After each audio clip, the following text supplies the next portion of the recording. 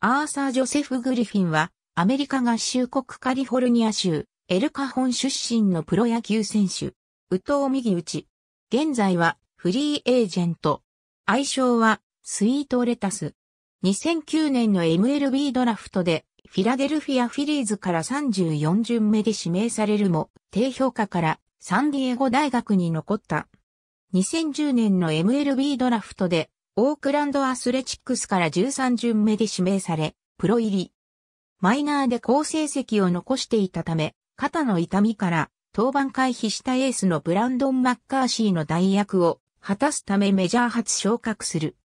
2012年6月24日のサンフランシスコジャイアンツ戦で初先発6回を投げ2失点被安打3三振4、死球1と初先発で結果を残した。シーズン終了までに15回の先発で7勝を挙げ、アスレチックスの逆転地区優勝に貢献した。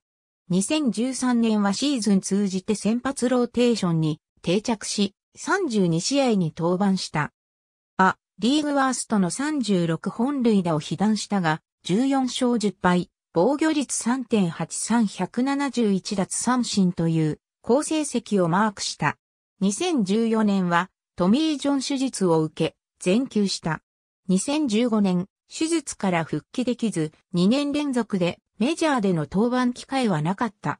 マイナーでは A 級ストックトンポーツとトリプル A 級ナッシュビルサウンズで計4試合に先発登板し、防御率3.7714.1イニングで15、奪三振という成績を残した。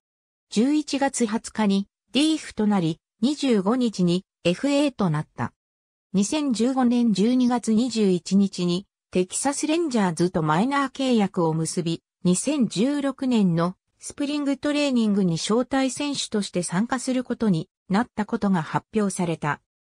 2016年は開幕を参加のトリプル A 級ラウンドロックエクスプレスで迎えたが、登板することなく4月8日にメジャー契約を結んだことが発表された。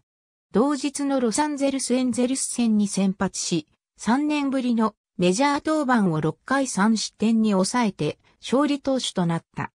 5月15日に起きたブルージェイズ戦での乱闘に関わったとして17日に MLB から罰金処分が課せられたことが発表された。この年は先発ローテーションの一角に入り23試合に先発登板した。防御率5.07わずか119.0回で28被本塁打と打ち込まれた感があったが、7勝を挙げて一定の貢献度を示した。12月1日にノンテンダー FA となった。